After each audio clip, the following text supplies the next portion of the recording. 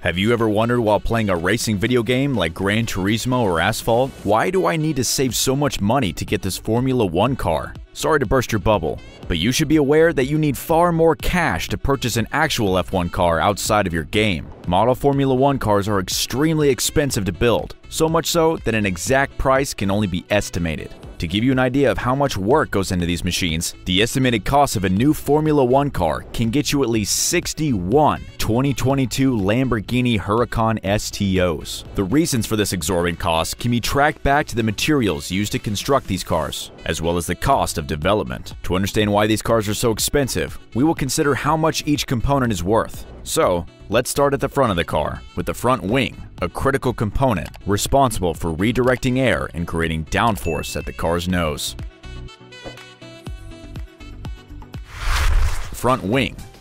Formula One cars consistently race at 300 kilometers an hour during a Grand Prix. To put that into context, that is faster than a light aircraft's takeoff speed. With new aerodynamic rules introduced each season, and the recent porpoising issue that teams have to deal with, a significant amount of resources are spent on the car's front wing. The front wing is an important component of the F1 car because it is the first part to contact the airflow and thus shapes the car's aerodynamics. It is estimated that a brand new front wing will cost around $150,000.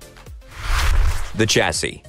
The chassis first functions as an aero device, directing air and supporting deflection of other aero components. It does the same for the powertrain and suspension. It holds the parts together with the ideal stiffness and weight balance. The chassis serves as the driver's confidence center. This is the main body of Formula One cars and is built to be as light as possible. It consists of a carbon fiber monocoque, which is twice as strong as steel, but five times lighter and with just a single carbon fiber sheet requiring a large amount of resources, it is no surprise that the estimated cost is between 650 to $700,000.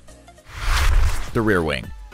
The main purpose of the rear wing is to generate a lot of downforce to help with traction and stability in the rear. However, because it generates so much downforce, it is also an area that generates a lot of drag, making it a place where a lot of research and development takes place to find the right balance of rear downforce and straight line speed. It is estimated that the cost of design, development, and materials will range between $85,000 and $150,000 for the rear wing. Moving on from the aerodynamics, let's take a look at some of the components. Gearbox since 2014, F1 cars' gearboxes have had 8 forward gears and 1 reverse gear. The incredible precision required as the fork selects the appropriate gear and moves through neutral is truly astounding. When you consider that a driver is expected to make over 2,000 gear shifts during a Grand Prix, you can see why this component is so expensive. It must be built not only to make seamless transitions between gears, but also to withstand the constant friction and heat associated with shifting gears over multiple races. While some Formula One teams build their own gearboxes. Others, such as Haas, buy them from other teams. Regardless, these gearboxes are extremely expensive, with a $400,000 price tag. Let's do some quick math before we continue. If we add up all the estimated costs up to this point, it should be no less than 1.2 million. And keep in mind, we aren't even halfway through all its components. Let's continue.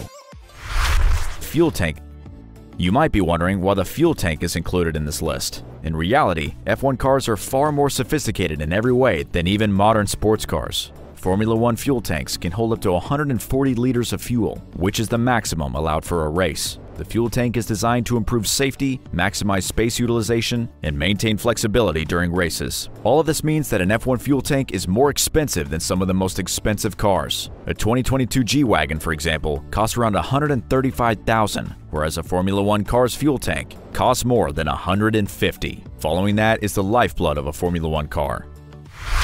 Hydraulics. It may appear surprising that hydraulics, a technology that has been around for several thousand years, plays such an important role in modern racing cars. This is driven, however, by the need of an increasing number of actuation systems on the car to assist the driver. On a typical modern F1 car, 10 hydraulic actuators control various automated systems, such as the DRS or drag reduction system, as well as throttle, brake, and clutch control. Given its significance, teams spend a great deal of money to make the system both durable and responsive bringing the total cost to around $170,000. Next up, we have every driver's best friend, the steering wheel. F1 steering wheels are expensive because they are designed for the driver's optimal convenience in the most difficult of situations. Everything is made to order, right down to the driver's hand grip measurements. They are not like regular car wheels, which are designed for less demanding conditions and have fewer personalization options. The materials to make the wheels are of high quality as well, and range from the lightest to the strongest. F1 cars are designed to fit specific racetracks, and it's only natural that steering wheels be ergonomically designed based on drivers' preferences, from button layouts to grip material. Aside from that, drivers need to keep their hands on the steering wheel for the entire race. Therefore, it should have all the necessary controls and proximity. Given all these features, an F1 steering wheel costs between 50 and $70,000. Before we get to the most expensive component, tires. Formula One tires are the sport's most intriguing and looked after component. Throughout the weekend, the majority of the F1 crew is usually busy changing or caring after the tires. A driver's tires can make or break a race. A puncture and the race is over. Whereas, nothing else makes a driver more worried and nervous than a pit stop. Pirelli, the Italian company in charge of manufacturing and supplying the 13 sets of tires before each race, is responsible for the current supply of Formula One tires. A single set of F1 tires is estimated to cost around $2,700. Given that each car is allotted 13 sets of tires per Grand Prix, the money spent on them is substantial. The use of those sets is dependent on the driver's style and team decision. However, assuming that a single driver uses 10 sets of tires per Grand Prix, The total cost is 27000 furthermore, with 23 races this season, that amounts to a staggering 627000 per driver. As a result, each team in a season will receive approximately 12.4 million. Finally, we come to the most important and also the most expensive component of any Formula One car. Engine.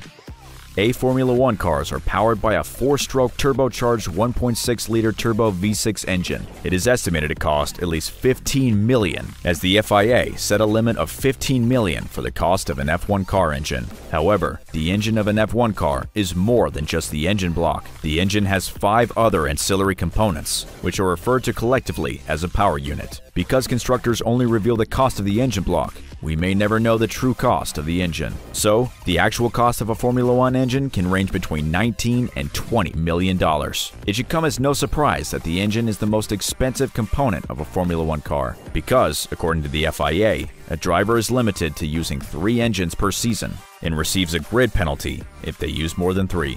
This is why F1 teams spend so much money and time developing their engines, because they determine not only the performance of the car, but also its longevity. The exact cost of an F1 car is unknown, because constructors try to conceal their cost of their car in order to avoid FIA penalties. However, based on the estimated cost of the components we've discussed thus far, the initial cost of producing an F1 car can be estimated at around 21 million. Do you believe F1 cars are worth this exorbitant price? Or do you believe the estimated cost is too low? Tell us in the comments section below.